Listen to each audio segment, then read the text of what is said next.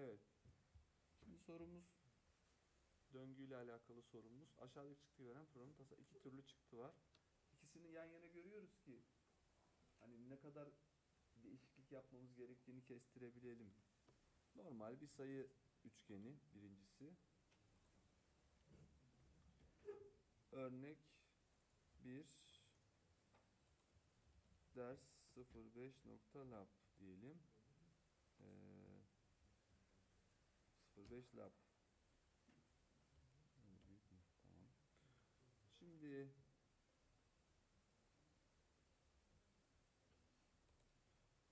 Tamam.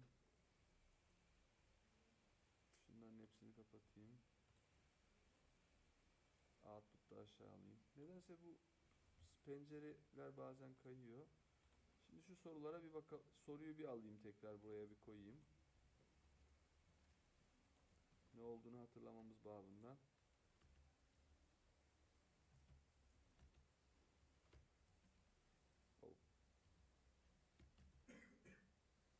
PowerPoint'ten kopyalayınca da bazen böyle kopya formatını kaybettirebiliyor. Neyse şöyle yapalım. 4, 5, 6, 7, 8, 9, 10 diye gidecek. Şu yıldızları dikkate almamamız lazım şu anda. Tamam. Tabi ortada yazacağımız şey sürekli artan bir sayı. Sürekli artan bir sayı olduğu için Evet, burası biraz karışmış. Niye karıştı bu? Bütün her şeyi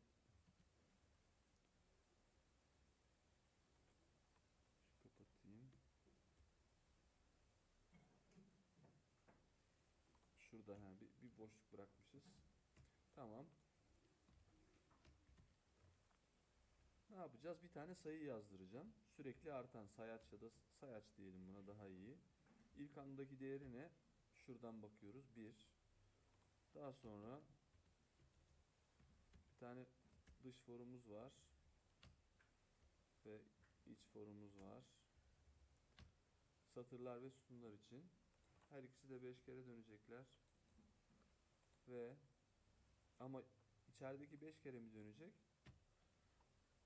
İ'ye kadar i dahil dönecek. Her adımda sayacı bir arttıracağız ve yazdıracağız. Sayaç desek şöyle artı artı artı bir de boşluk bırakalım. Bunu böyle yapmayabiliriz. Şöyle yapsak daha güzel gözükür. Sayaç. Diğeri de çalışırdı. Yazdırdıktan sonra arttıracak. Tabii ki burada print sütun yazdığımız için yanına yazacak. Sonra tekrar satır yazacağız. Ve devam edeceğiz. Çalıştıralım. Çıktığı bir görelim. İlk çalıştığı için biraz bekliyoruz. Evet gördük. Güzel. 1, 2, 3, 4, 5, 6 diye yazıyor. Şimdi diğer örnek 2 diyelim ona. Örnek 2 diyelim. Oradaki sayı üçgeni biraz farklıydı hatırlayın. Şöyle bir şey yani. 1, 2, 3, 4, 5 kopyalamak daha zor olacak.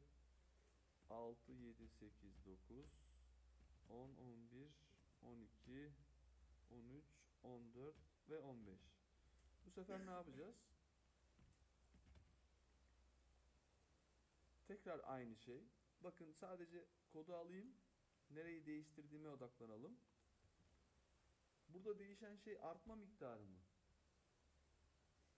Artma şekli değişiyor mu? Değişmiyor. Ne değişiyor? Sadece yazdırma şeklim değişiyor. Ne yapmam lazım? İlk satıra 5 tane yazdırmam lazım. O zaman ne, nereyle oynayacağım? Buradayım değil mi?